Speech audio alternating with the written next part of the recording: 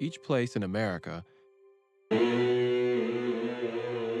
has its own distinct sound, its own musical voice.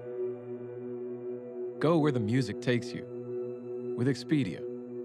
It's everything you need to go.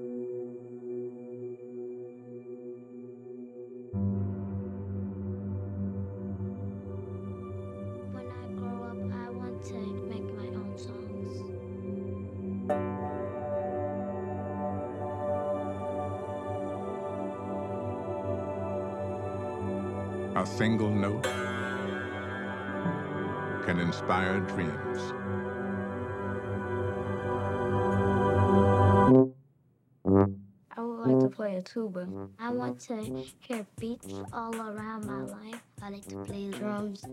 I play the guitar. Music makes me feel joyful.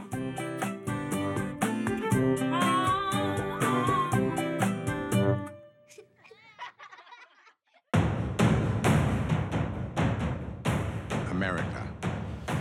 People came here from many places, each bringing a different note. Hello, world. Nice to meet you. I've been waiting for this moment to come my whole life. When all of these notes collided, they exploded with creative energy. It's time for us to come together and make the future right. This fusion of cultures sparked a surge of creative freedom.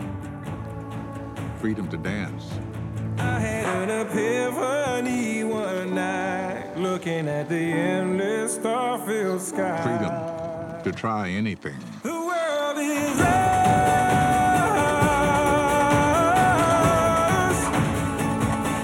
The world is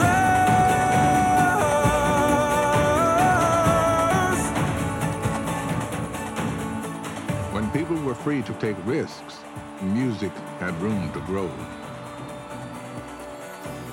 Here, we could each sing our own song in our own voice.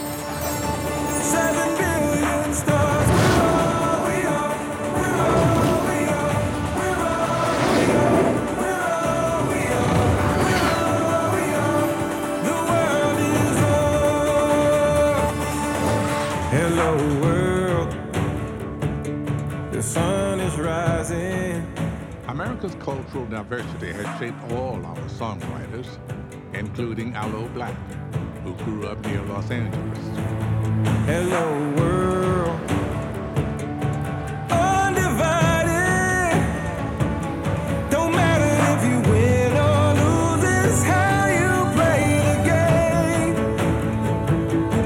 I had an epiphany one night, looking at the endless star-filled sky.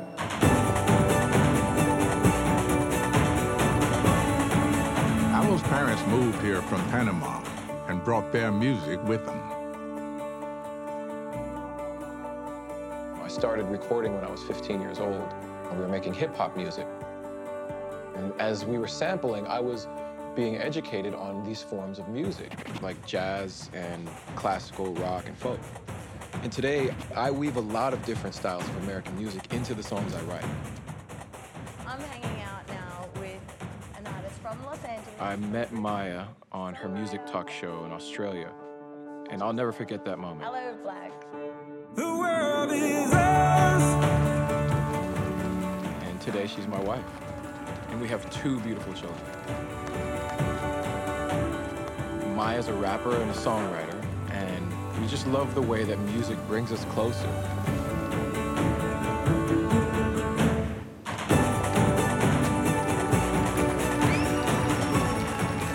Tomorrow I'm leaving on tour. Being away from Maya and the kids is the hardest thing I do. But going on tour is a great chance for me to learn new musical styles for my next album. Each city I go to has its own musical personality.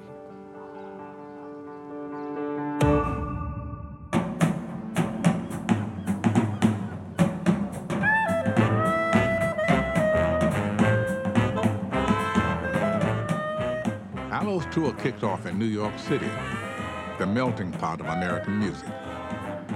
I want to soak up all the different historical styles of American music and weave it all into my next album. New York became really important to me at about age 15, mainly because of hip hop. Back in the 80s, a lot of kids didn't have money for instruments, so turntables became their instruments. And that's how hip hop was born.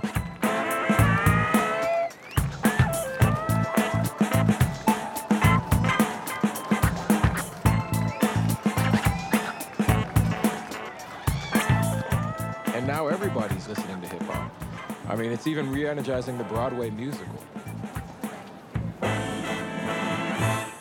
Hip hop was revolutionary. A century ago in New York, Harlem was swinging with another brand new musical revolution jazz.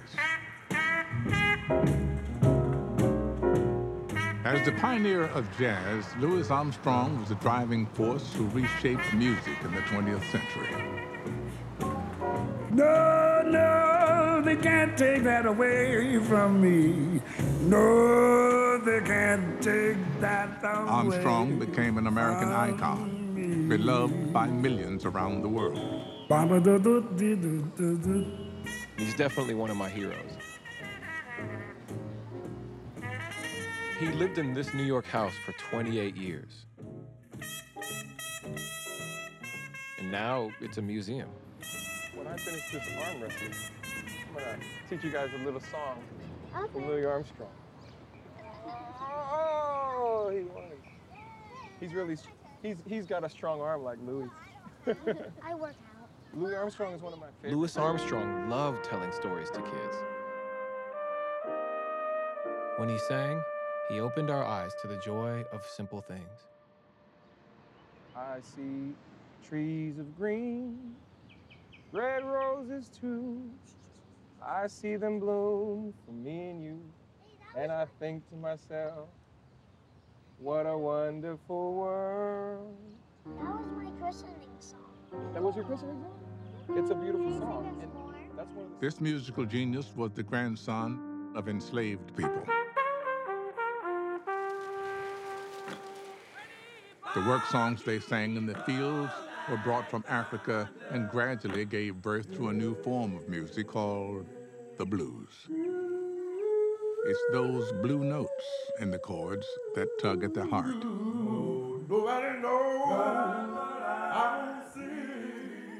Louis Armstrong's grandmother sang those songs to him when he was a boy in New Orleans. In this city, all kinds of music spilled out onto the streets. Ragtime, gospel, Dixieland. Louis and his friends performed for handouts. But at 12 years old, he got arrested, which changed the course of music history. In reform school, Louis learned to play the trumpet, which set his prodigious talent free.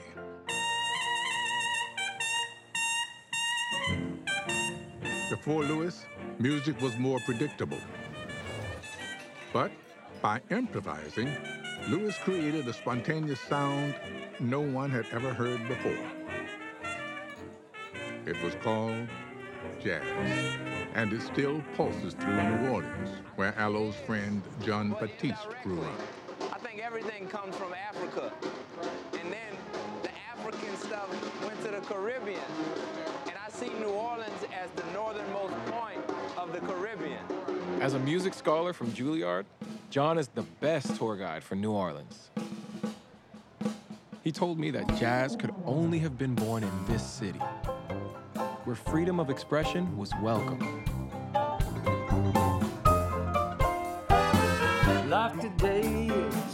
Such a grind. Sometimes you think you're gonna lose your mind.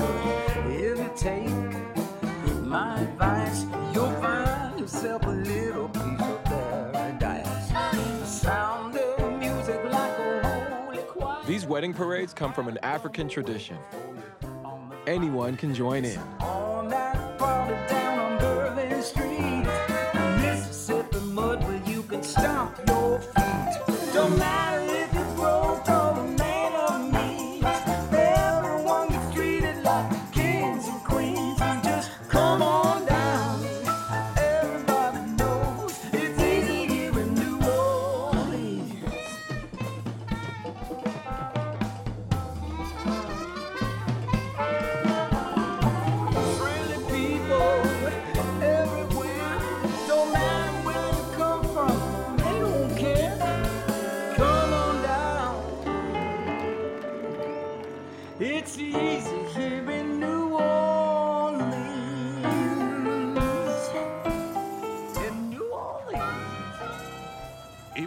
The dream of freedom came true for slaves in 1865, life here was harsh.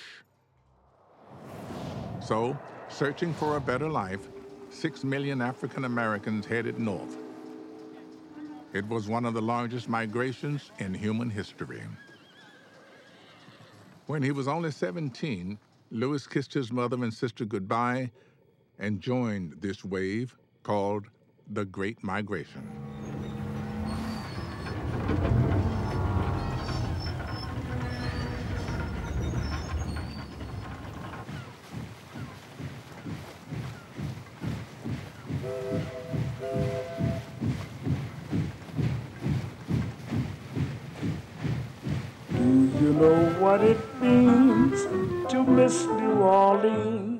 For the next three years, Louis played and sang in a riverboat band. Now here I am making the same journey 100 years later. Stronger the longer I stay away.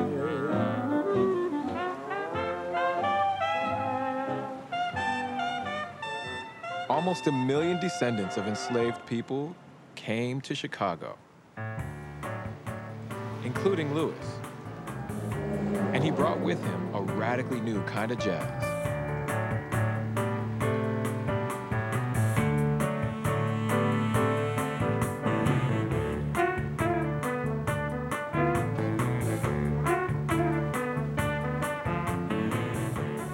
During the roaring 20s, drinking alcohol was outlawed.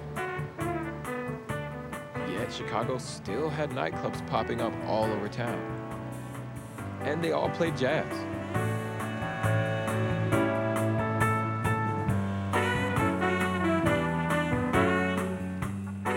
Of the Great Migration brought more than just music.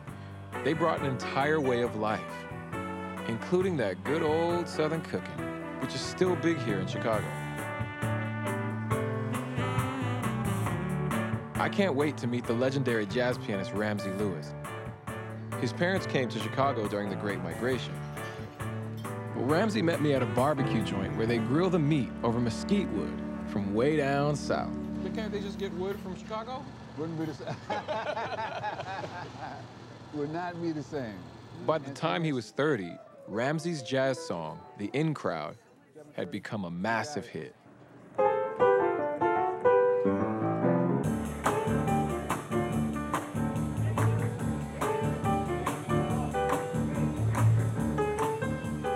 In the 1920s, inspired by jazz, America was undergoing a social revolution, especially in Chicago, where couples of every race shared the dance floor.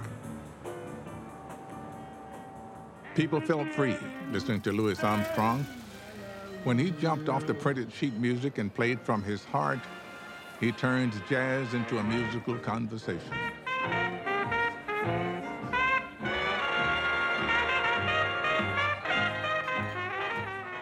Louis didn't seek the limelight, but when he married a successful singer, she insisted that he get top billing. His celebrity was soon growing far beyond Chicago. But even with all his fame, Armstrong and his band were not allowed to stay in the same hotels where they performed. They had to stay in rundown places or even sleep in their cars. But then Louis drew a line in the sand. If I can't stay in the hotel, I won't play in the hotel. The first black celebrity to take such a bold stand. He got his wish.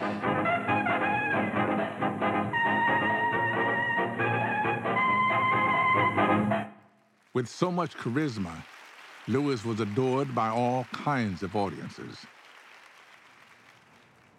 The power of music could change people's hearts. He had a profound impact on the city of Chicago and ultimately on the whole nation. Without trailblazers like Louis, who knows where I'd be today? I'm making music on my own terms. I wrote a song about my good fortune called Wake Me Up. And that song is about to be used in a flash mob right here in Millennium Park. It'll be fun to hang with some complete strangers and see what they do with my song. They've only met each other online, but they have a plan.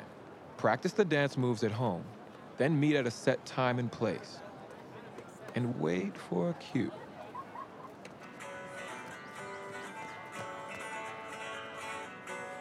Half the fun is just watching innocent bystanders. Feeling my way through the darkness, guided by a beating heart.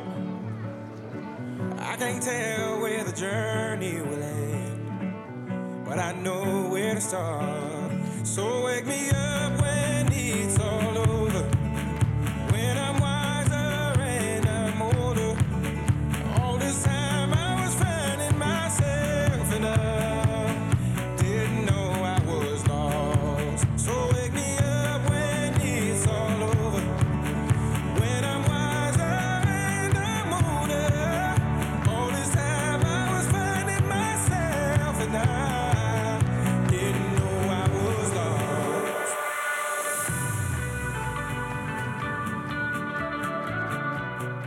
During the Jazz Age, the folks of Chicago could outdance anyone. Today, they've created a new dance called Chicago Footwork Style.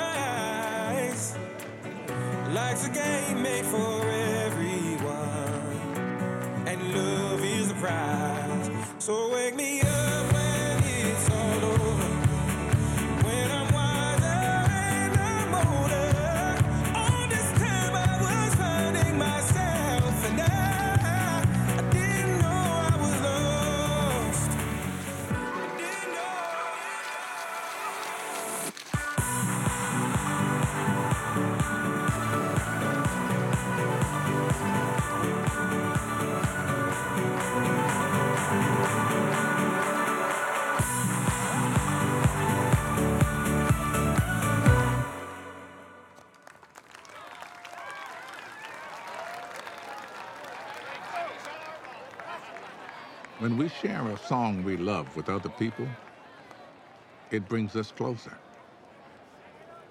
Every kind of music has that power. During the 1920s, while cities like Chicago were jumping with jazz, farm families were listening to something quite different. Good morning, Captain. Radio, the internet of its day, made country music wildly popular.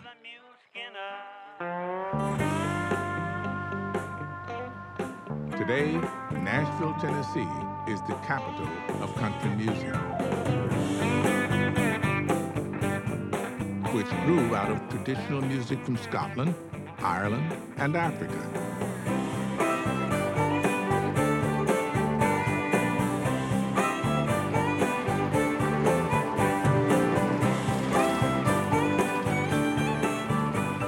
Tour manager put me together with some of Nashville's top musicians, like Willow Osborne. At 17, she's mastered the banjo, an instrument brought from Africa. At the Country Music Hall of Fame, Willow and her mom showed me Elvis's Cadillac. And you have, you have your driver's license? Barely. Yes. I got it back in May. All right, well, then you're old enough to drive this now. Have this idea for a song, so I've been writing this song called My Story. How can I add a little bit of harmony into this song? Being here with the ensemble, I might get a chance to work on the chorus, to do something that feels a little bit like Nashville, a little country. By bending the note, Wow. the pedal steel guitar can change the pitch to create a blue note.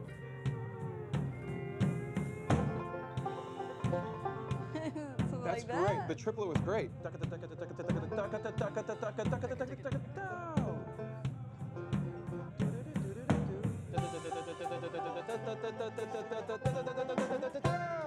This is my story.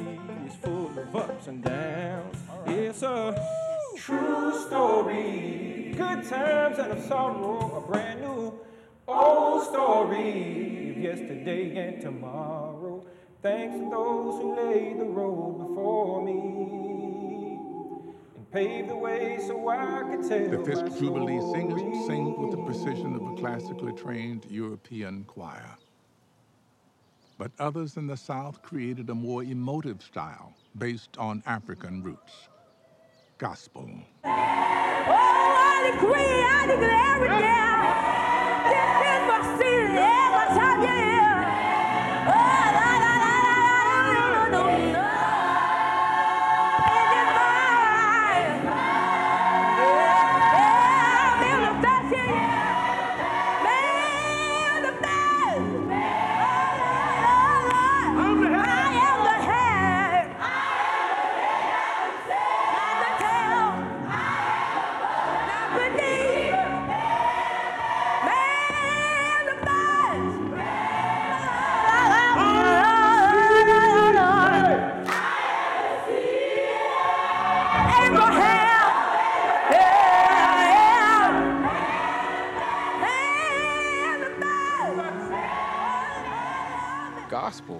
Was emotional church music. It inspired one skinny white teenager whose music would soon shake up the world. I'm on my way to his home in Memphis, Tennessee.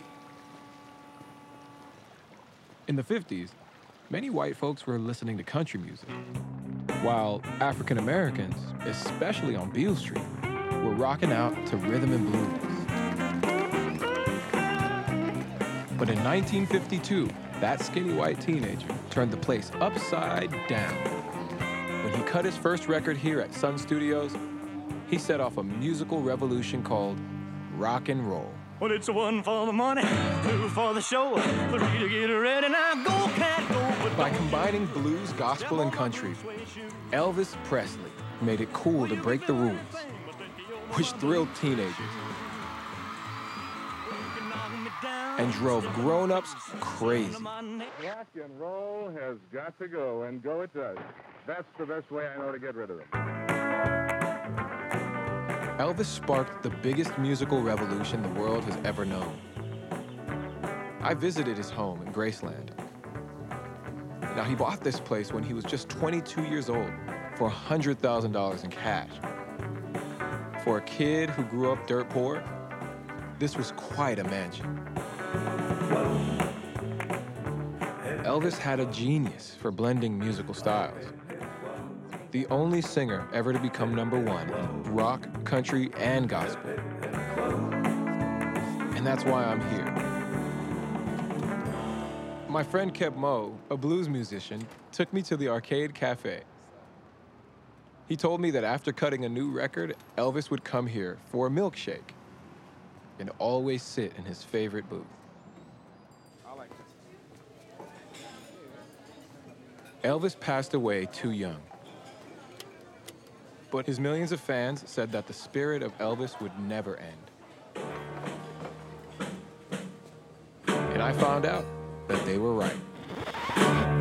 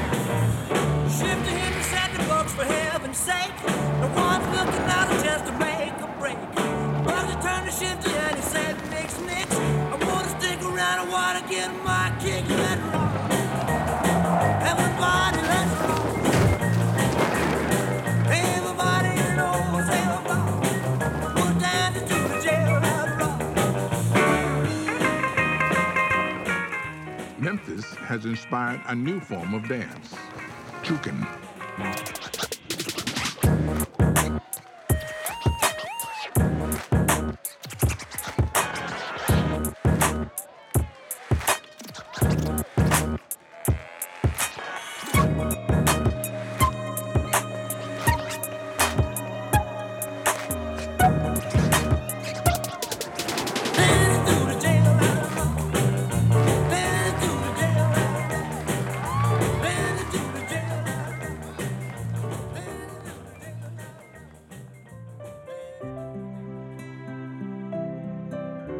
As a boy, Elvis sang in church and always kept a place in his heart for gospel.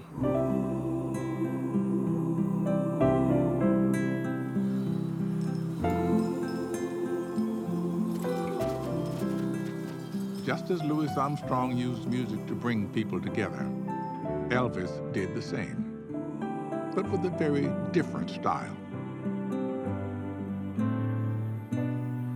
He set the stage for the massive cultural revolution of the 1960s that swept the whole world. There will be peace in a valley. Oh, That's the power of music. Each city that I went to on my tour has its own distinct sound. Like in Detroit, where the Motown sound was king, I kept hearing Stevie Wonder and Marvin Gaye. And the voice of Seattle was Jimi Hendrix and Kurt Cobain. The singer on my mind in Austin, Texas was Willie Nelson. And in Minneapolis, St. Paul, I hear Prince with his funk and soul. And Las Vegas still carries the torch for Elvis. Lots of cities have new forms of music, like Miami, the last stop on my tour, where I get to soak up all of the music of my childhood. I love it. It's one big tropical playground where the fun and the water and the music are all just part of life.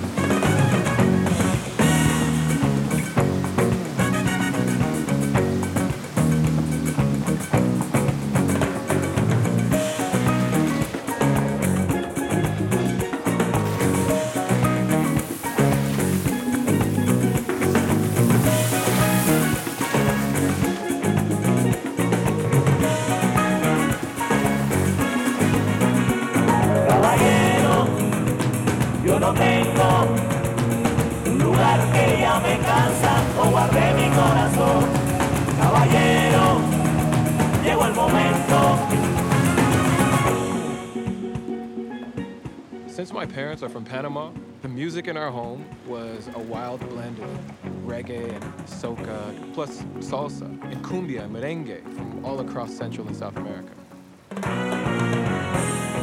I'm here to meet a legend.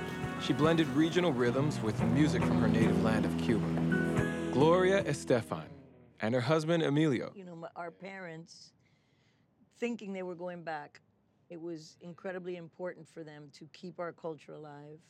My grandmother would smuggle my mom's record collection out of Cuba one by one because she couldn't take anything with her. And that's the struggle of immigration. So you came with nothing. With nothing. Gloria overcame her humble start to become America's all time best selling Latin singer. Your Professional opinion on how can I add a little bit of Miami flavor into this song? We can do that. That Yeah. we can do. Miami. Oh, I can hear it already.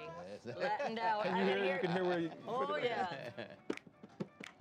Round the road so I could tell my story. All right, I get it. Feels good. Oh, I can, I, I'm already dancing salsa to that thing. Come on, shake your body, baby, do that conga. No, you can't control yourself any longer. Come on, shake your body, baby, do that conga. No, you can't control yourself any longer. No tune says Miami better than conga. The signature song from Gloria Estefan. Nearly two million Cubans now call Miami home. So the city now dances to a Cuban beat. Come on, shake your body, baby, do that conga. No, you can't control yourself any longer. Feel the rhythm of the music getting stronger. Don't you fight it till you try to do that conga beat. My parents joined me in Little Havana. This is their music.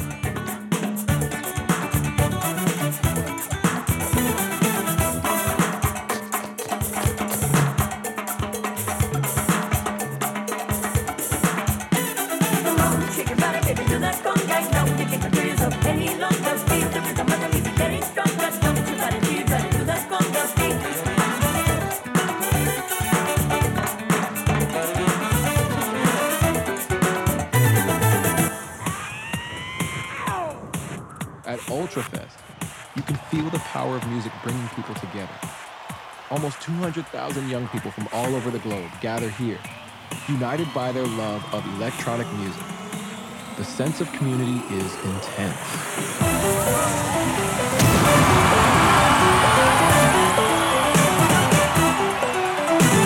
Come on, shake your body, baby, do that conga. No, you can't control yourself any longer. Come on, shake your body, baby, do that conga. No, you can't control yourself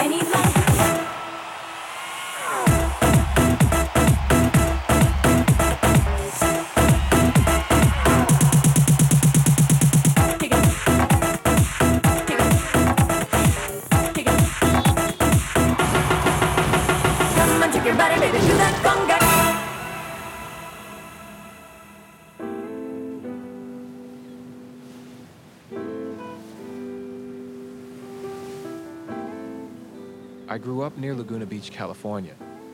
So whenever I get a chance, I love to come home. Every tree that ever grew knew just which way to grow. And every bird that ever flew knew just which way to go. It always amazes me how quickly my kids are growing and all of the new things they're learning.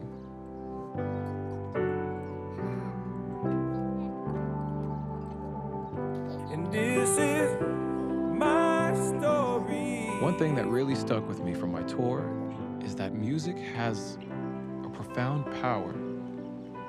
Louis Armstrong showed us that. And today, doctors are finding that music is a powerful tool to help kids with autism.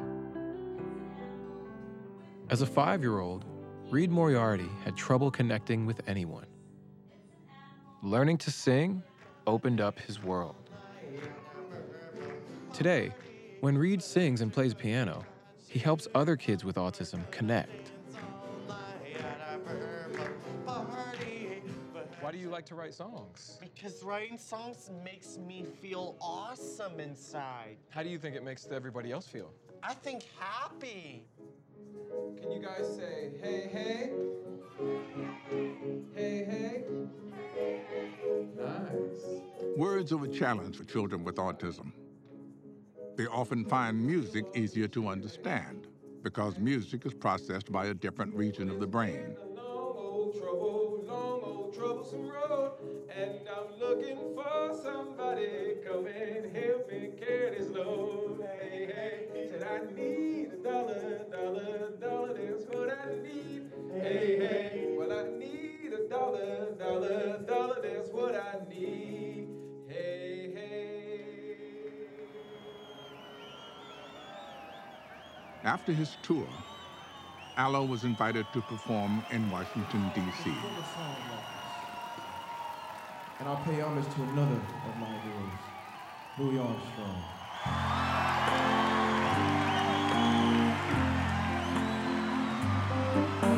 I see trees of green, red roses too.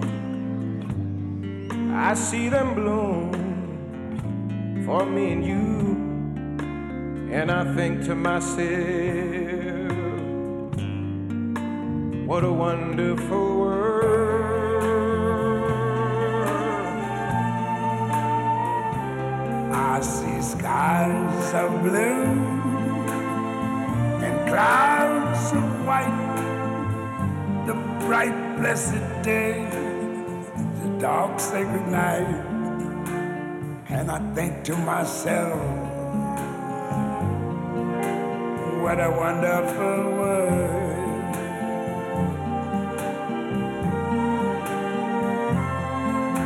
The colors of the rainbow, so pretty in the sky, are also on the faces of people going by. I see friends shaking hands,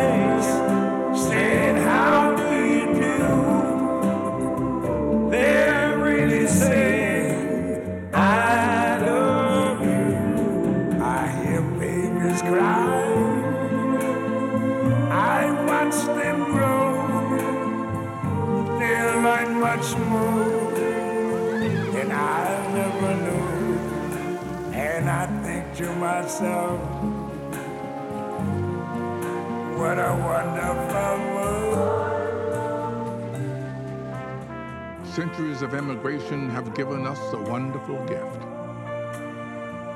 This wild intersection of cultures sparks enormous creative energy.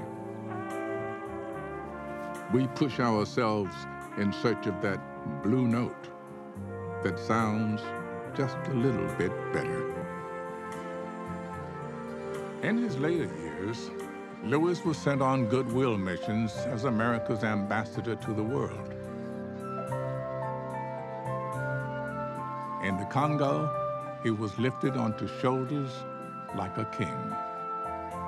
I see friends shaking hands, saying, How do you do? They're really saying, I love you. Where would the world be without jazz or rock and roll? American music now belongs to everyone. dark say goodnight. It has the power to inspire dreams and change our hearts. What a wonderful I hear babies cry. babies crying. I watch them grow. Watch them grow. They'll learn much more They'll learn much more than I ever knew. And I think to myself, what a wonderful world. Yes. And I think to myself, what a wonderful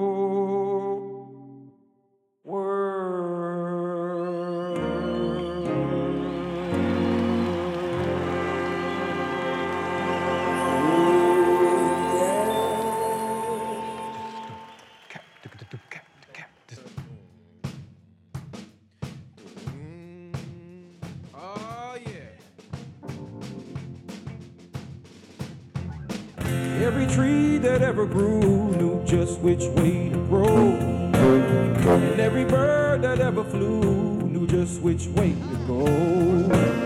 I count all of the people I call best friends on one hand. Being someone people count on, well, that's how I became a man. This is my story, the life that I have found. This is